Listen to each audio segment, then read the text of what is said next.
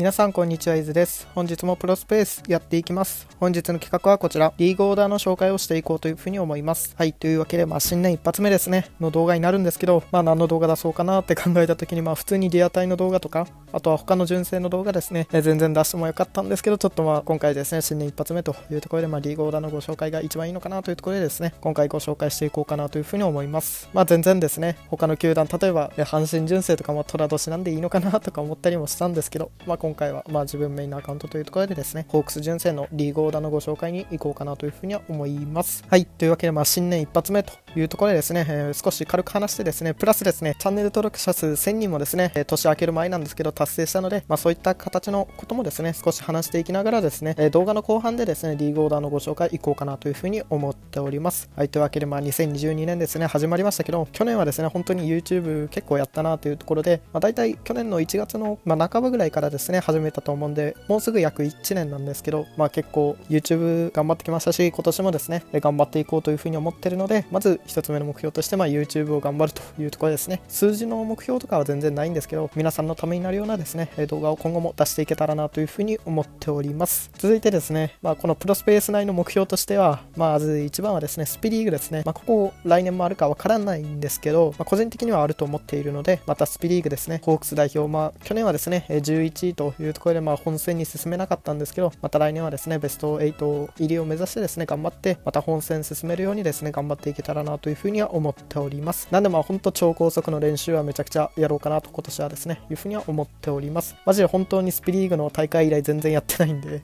超高速ですね、まあ、頑張っていこうかなというふうには思っております。まあ、目標としてはそのくらいなのかなというふうには思います。まあ、あとは本当に YouTube もですね、できれば毎日上げたいというところですね。まあ、自分は結構いろんなことをやって、いろんなことっていうか、まあ、ぼちぼちやっててですね、まあ、多趣味って言ったらわかんないんですけど、まあ、結構いろんなことやってるので、まあ、えもしかしたらですね、え YouTube 投稿できない日もあるかもしれないんですけど、まあ、基本的にですね、他の趣味というところは、まあ、一人でひっそりとやってて、まあ、YouTube はですね、見てくださる皆さんがいるので、できればですね、YouTube 優先していきたいなというふうには思っております。まあ、新年の挨拶というか、目標というかはですね、えそのくらいにしてですね、チャンネル登録ですね、1000人いったらやりたいと言ってたことをですね、え今回、え話していこうかなと。まずですね、4つあるんですよね。1つ目としてアイコン変更というところで、今日からアイコン変更になってるんじゃないかなというふうに思います。まあ、どんどん節目節目でですね、えアイコンは変えていこうかなというふうに思ってるので、また一応自分で書いたんですけどね、まあどうかな、うん、まああんまりうまくないですけど、またうまくなってきますわ。はい。続いて2つ目というところで、名前変更もしましたね。はい。というわけで、まあ名前はですね、まあ伊豆っていう名前は変わらないんですけど、その後ろですね、もともとホークス純正って書いてたと思うんですけど、純正攻略所と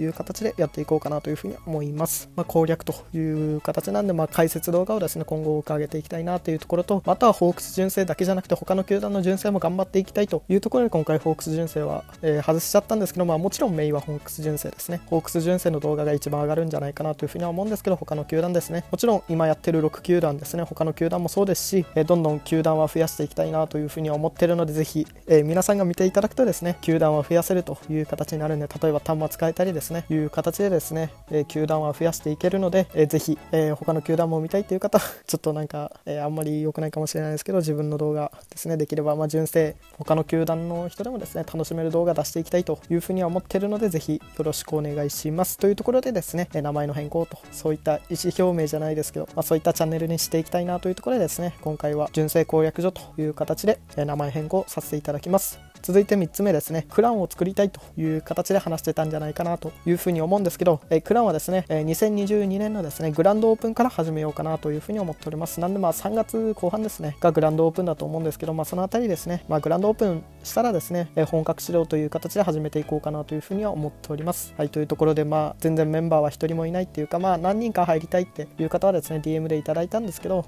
まだ全然え今後決めていきますみたいな感じで返事してたのでまた、え本格的に話していきたいなというところでですね、えーぜひクランに入りたいっていう方はですね、えもう一度まあ前話してくれた人もですねもう一度 DM していただくといいんじゃないかな。まあぜひ、えまだ言ってないよっていう方もですね DM していただくといいんじゃないかなというふうに思います。まあ条件としましては本当に純正をやっていればいいかなっていう形です。まあ他の球団まあどの球団でもいいですしこれから始めたいっていう方もですね、えどんどん入っていただくといいんじゃないかなというふうに思います。まあプラスですね掛け持ちとかなんかいろいろあるっぽいんですけどまあ自分はそこら辺は全然気にしないので全然他のクランに入っててもですねまあそのクランの方がですね良ければ全然掛け持ちもいいというふうには思っております。ます。続いてですね、4つ目大会というところでここはですね3月末に実施しようかなと。なんでまあグランドオープン前ですねに実施しようかなというふうに思っております。なんでまあ2021シリーズのですね総決算みたいな形で大会は開こうかなというふうに思っております。ここももちろん純正の大会という形で開こうかなというふうには思っております、まあ、賞金もまあ1万円か2万円くらい出そうかなというふうには思っているので、まあ、2、3、4位の人とかにも出そうかなとか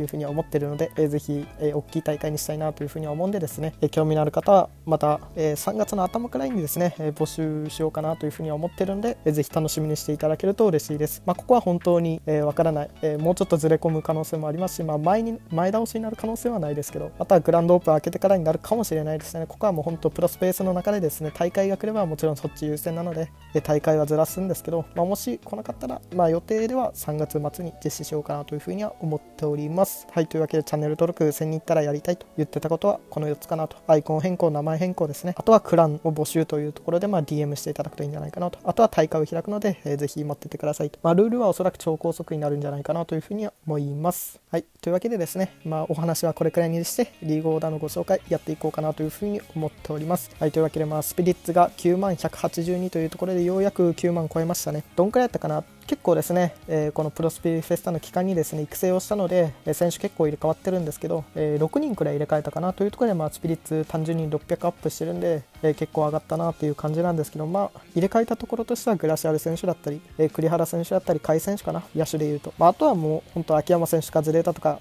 門田さんとかはですね極めた段階で結構どんどん入れてった感じですね。もう本当にそのくらいかな。で、野村さんもね、今、長2なんですよね。というところで、まあ、本当に極めたら、え入るんですけど、今は入れれてないっていう形です続いて投手というところで投手も結構入れ替わってるのかな、まあ、3人か荒垣さんと、えー、加山さんとモイネラさんですねというところが入れ替わってるっていう形です。まあ、斉藤さんだったり、マルテネスだったりは、まあ、どんどん育成した段階でですね、入れてたので、えー、荒垣さん、加山さん、モイネルさんが新たに入ったところなのかなというふうには思います。はい、という形で、こんな感じですね。で、まあ、コンボですけどね、えー、まあぼちぼち出てるかな、えー、まず超大胆不敵ですねここはパワー型が8名以上というところで1人余裕がある段階ですね続いて、えー、超変幻自在ももちろん出てますし、え超陸戦奮闘と、え9位型というところとあとは超剛腕投手陣で 9A 以上も8名以上いるという形です、まあ、あとは360だったりですね。特殊能力がで周到精密も一応6人ですね。ギリギリ出せてると。あと2人ね。ズレータの同地だったり長谷川さんのシリーズ1だったりをですね入れると出せなくもないんですけど自分はちょっと今シリーズあんまりリーグ頑張らないというふうには決めてるのでズレータの同地だったりは決めてないという形になってます。はい、というわけでこんな感じですね。で、まあ本当決めた称号で言ったらグラシアル選手の同値ですね。を何枚ぐらいかな、8枚ぐらい決めて、ちょっと極意を使って稲妻がついたっていう形ですね。78同値と。で、栗原選手も圧倒的なミート力という形で同値決まってるんですよね。で、ここはどんくらいかな、2枚くらいかな、2枚3枚くらいで決まったんじゃないかなと、栗原選手はですね。で、甲斐選手もパワー型にしてると。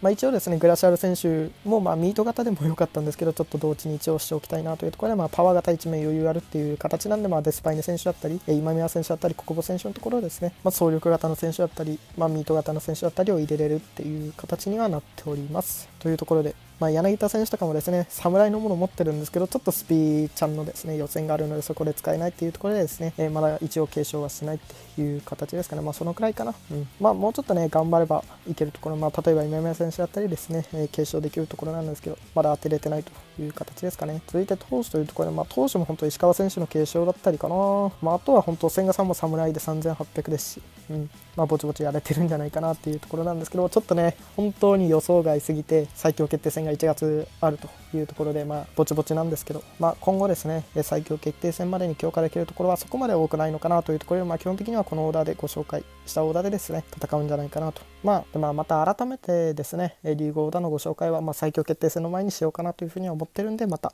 更新できたらですね、いいんですけどね、はい、という形になっております。はい、というわけで、まあ、リーグオーダーはこんな感じですね。本当にズレータの同時とか決まっていればですね、えー、結構上位とかで戦えるのかなと。あとはミート型ですね。まあ長谷川さんから 一番思いつくのは、うん、もうほんとそのくらいかな。がシリーズを当てれてないというところでミート型が足りないところなのかなというふうには思います。はい本当に何回も言いますけどちょっとねリーグは最近はあんまり頑張ってないので、えー、また頑張る時が来たらですね、え、OB とか TS の称号とかもですね決めていきたいんですけどまあ本当ね、えー、ゼロから集めるっていうところは本当に大変なのでまあ継承できた選手を称号とかならですね結構楽になってくるのでまたもうちょっとですねえ準備という段階でえ、集めていこうかなと。で、またね、え、結構、えー、どうかな、来年か再来年くらいにですね、リーグもめちゃくちゃ頑張りたいというふうに思ってるので、ぜひ楽しみにしていただくと嬉しいです。それでは本日はこの辺で終わろうかなというふうに思います。まあ、改めてじゃないですけど、また2022年ですね、再出発という形で今後も YouTube 活動を頑張っていきたいというふうに思っているので、ぜひ興味のある方はチャンネル登録して待っていただけると嬉しいです。それでは本日もご視聴ありがとうございました。伊豆でした。